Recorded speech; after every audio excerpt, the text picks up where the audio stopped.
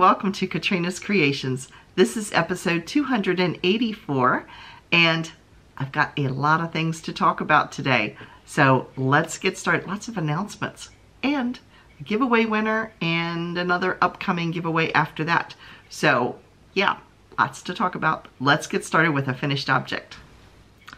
My first finished object is the virus shawl that I was working on last week and I was almost done last week. So you can see right here, I just basically came through and did the last two rows and called it done. So here is, this is one side of it and this is the other side of it and here's down the center. So it's a good sized shawl. I'll wrap it around me so you can kind of see how far down it goes. This is going to be sold at a craft fair or I might just sell it online in my Etsy shop. So there it is. So it hangs down, it hangs down to my waist in the front. Uh, and in the back, it is hanging, where the point is, is slightly below my waist. It's down at my hips. So it's a good size shawl. So I'm happy with this one. Then I started, I had the rest of the yarn from, this was yarn that was from Pound of Love, which is Lion Brand. So a lady at church had, let me untangle this so I can show it to you. I've got the other skein of yarn tangled around it.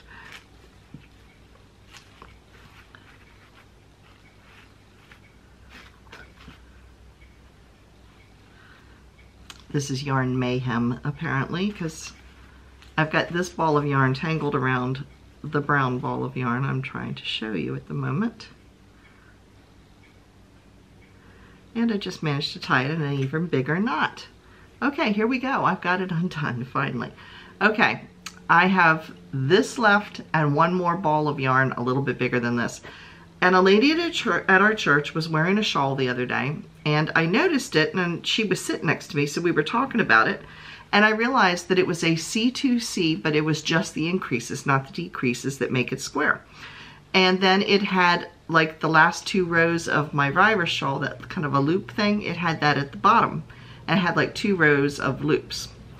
So I thought, well, I'll try that. I've discovered the C2C takes a lot more yarn than the virus shawl does because I've gone through about three balls of yarn so far and this is all the bigger it is. It's only, let's see, going across, it's maybe three feet across but it's not very deep. And if I put this on, you can see it is much, much shorter.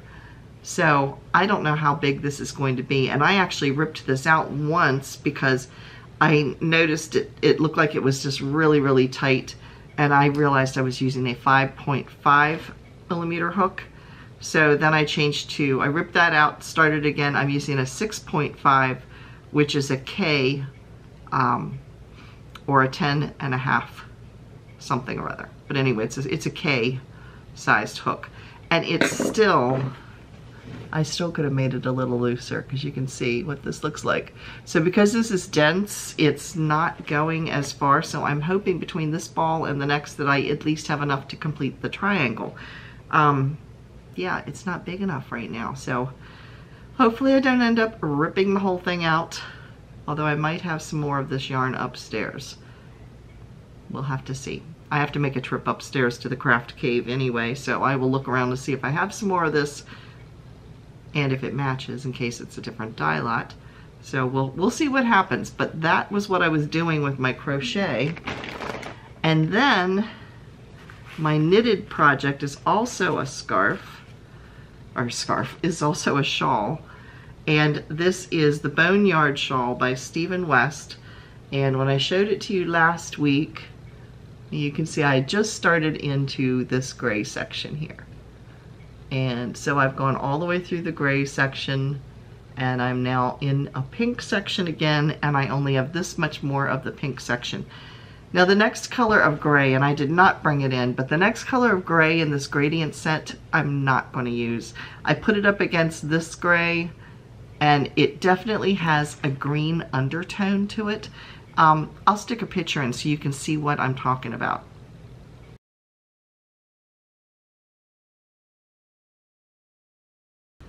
I don't like the way it looks at all. So anyway, that skein I'm going to set off to the side and when I go up to the craft cave, I'm also going to look for, this is worsted weight yarn and it is 100% merino, I believe. I think it's superwash. I'm not positive. I have to look at the label. So I'm going to see if I can find another gray that's the same fiber uh, that's upstairs that will go with this a little bit better because, yeah, as you can see, it just, it looks, it's a moldy color gray. It just, it has definite green undertones. By itself, it would be fine, but combined with this, I don't care for it. So worst comes to worst, if I don't find a gray that I like that goes with this, I'll just use the other two lighter grays that are in there and the shawl will be slightly smaller. It's still gonna be a good sized shawl.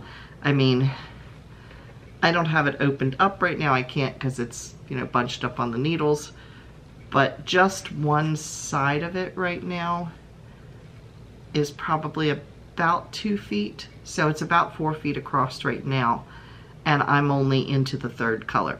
And I have a total, if I use them all, I have a total of eight.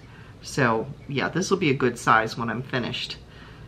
So we'll just play it by ear and hope I can find another gray that will go with it. So, so that's what I've been working on this week. What have you all been working on?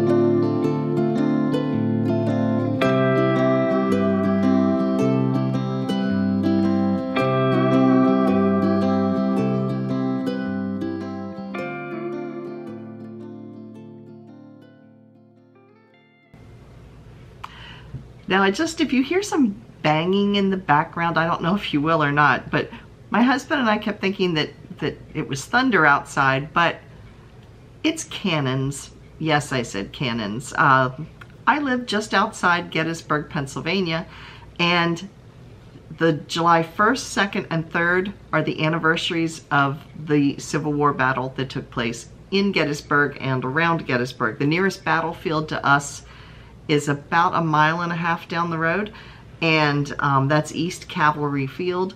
But we were in town earlier today, and there was all kinds of reenactors and living history things going on throughout the weekend. So I just realized that it's cannons I'm hearing going off, I believe, not thunder. Although we could get a thunderstorm. Um, it kind of looks like that might happen. But anyway, um, so if you hear any rumbling, it's cannons.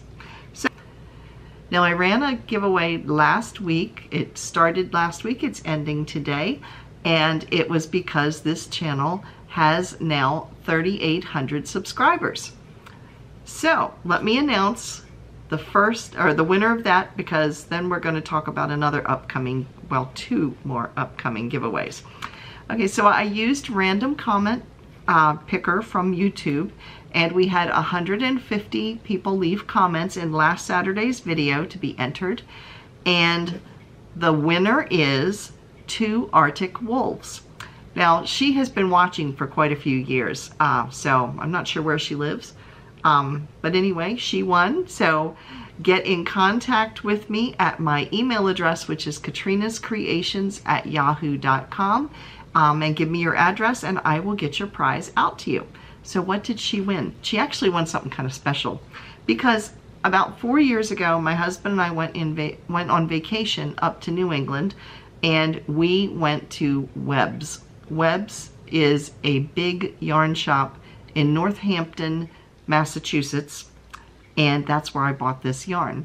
Uh, if you go online and look for WEBS, it shows up as yarn.com. And it's this big store. The front of it has like your full-priced regular yarns, which is where I bought the yarn I'm going to show you. But behind the building, well, it's, it's part of the same building, but you go through this little door and it goes into a warehouse where they have a lot of their uh, discontinued or discounted stuff. I think I bought some yarn for like two or three dollars you know, I, I walked out of there with three bagfuls of yarn and spent like $149, but it was probably about $500 worth of yarn. I had a lovely time there. So anyway, here is what she won. This is, she won Liberty Wool Light. It is, it is a fingering weight. It's Classic Elite Yarns is the brand. And it does not have a color it just has a lot number and a color number. You think they would have named it. Uh, but it is 100% washable wool. And there are 200 yards in a 50 gram skein. So it is fingering weight, but look at these beautiful colors. And there's, you can see some more of them in here, and you can look in there and see some of the prettier colors as well. So Yes, so it is a, a variant, uh, variegated, I guess, what you'd call it. It's got lots of colors in it. So I think it's really pretty. So congratulations. Like I said, get in contact with me. Again, the winner is two Arctic Wolves, and I will get this sent out to you. Now, other upcoming giveaways. We have the Christmas in July fairies, which I'm going to talk about in a couple minutes. Uh, but as of the filming of this podcast on Friday afternoon, we now have on the channel almost another 100 subscribers since last week. So we have 3,892 at the time of filming. So keep your eyes out for another giveaway. It'll probably happen next Saturday. Uh, so yes, be watching for it because we'll do another yarn giveaway. Now we're on to the Christmas in July fairies. Now, if you have not entered yet, you have until July 15th and you have to enter on a specific video if you click the link right here and I will also put it at the end of this video the link to take you over so you can get entered for my channel for Christmas in July fairies. So it's going to be a lot of fun because I got an advent calendar. It's in this little bag here. And it's the 12 days of Christmas. So starting tomorrow, which is July 3rd, each day I will be opening a little package of mini skein of yarn. And this is, they are 10 gram skeins and they're all fingering weight. So every day from the third, from the 3rd until the 14th, tune in to see what I get in there. And I'm doing some like little history type of and fun type of videos along with those. So um, for instance, we are going to have a little video on the history of knitting, on the history of crochet. Um, for the Christmas in July Fairies um, entry on my channel, you had to put down what kind of crochet hook or needles you use. And a good majority of you said you used Boye, Susan Bates, or Clover. I kind of dove down the rabbit hole and started researching the history of those companies.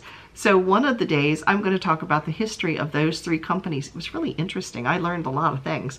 Uh, but we're also going to have a regular Saturday podcast within the yarn unboxing. There is a Knit Crate unboxing planned. There's a Lion Brand unboxing planned. So yes, lots and lots of things coming up every single day from starting tomorrow on July 3rd until July 14th. On July 15th, I will be drawing the winner um, for the Christmas in July Fairies and then I will be passing that person's, that they'll get a prize from me, and then I will be passing their name on to Dana's Wonderlust Crochet. Dana is the one that, that heads up the Christmas in July Fairies, and she will take all of those semifinalists, and on July 25th, draw one winner from the semifinalists, and that winner will get a prize from all of the participating channels. So yeah, it is a huge, huge giveaway. And this is the third year she's done it and it's been a lot of fun each year that I've participated. You know I like wearing the tiara. It's not on my head right now, but that, you know I like wearing my tiara. So it gives me an excuse to pull it out of the box once a year and stick it on my head. So yeah, lots of videos coming up, so make sure you watch for those. Now in my acquisitions this week, if you missed Wednesday's video, you can click the link right here and it will take you to it. I had a buy one, get one from um, Knit Crate. So I got four skeins of this because I actually purchased an, an old Knit Crate box. So it actually had the little goodie in it, which was, I think it was chapstick. So I got the chapstick and I got um, the patterns I already had that were in there. And I have four skeins of this yarn. It is a dark charcoal gray. There you can see it. And the funny thing is, is I did try it up against this. It actually would work, except that this is the darkest. I'm going from dark to light. So that would not work to go that direction. But anyway, um, so I have four skeins of this. The color is slate. It is Aldine Wools flannel and it is a 40 47% Suri alpaca, 38% alpaca wool, and 15% non-superwash merino wool. Non-superwash means you, you have to hand wash it. You can't throw it in the washing machine. Um, let's see, there's 231 yards altogether. And like I said, I have four skeins. So I have slightly over a thousand yards altogether which is good. So I can make something very substantial with that. And then the other thing that I bought, I bought one, so I got a second one free. This is Mrs. Crosby's Loves to Play, and the color is called Steamer Trunk. Or no, it's Steamer Trunk is the brand, I guess, or I guess the, the base. That must be the base. It's 100% superwash merino wool. 164 yards. It is a worsted weight. It's kind of a light worsted weight and the color is Sahara. So let me hold these two together so you can see them. There's lots of teals in this. Shades of teals and browns. So it's really pretty. So that is my acquisitions. Now it's time for Now in our come and get it section, Knit Picks is running a summer sale, 60% off or up to 60% off of yarn until the 24th of, of July. So um, that is all the links to all these sales are down below in the description box. If you look at the bottom of the video and you see the little word in bold that says more, click the more, and then it opens up and you can just scroll down and find these different sales. So Knit Picks is up to 60% off of yarn. You don't need a, a coupon code or anything, it's already marked down. Lion Brand, check out their clearance section.